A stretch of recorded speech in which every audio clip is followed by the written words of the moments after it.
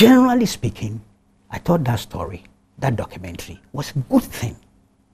Was a good, a piece of journalism that was good.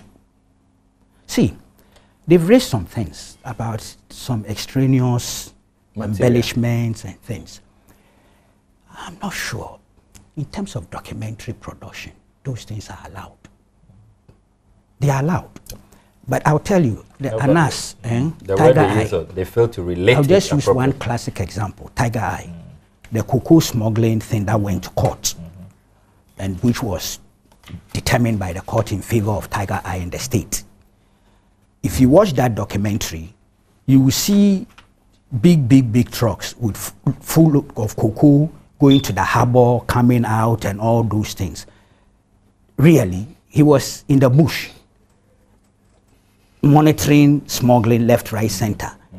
So that part of the documentary was not part of the thing. It was brought in for to show people that look, cocoa we export. If people smuggle, we lose revenue. I can understand where the National Media Commission was coming from, but I don't think they are a court of law. No, they are not. They've admitted it clearly.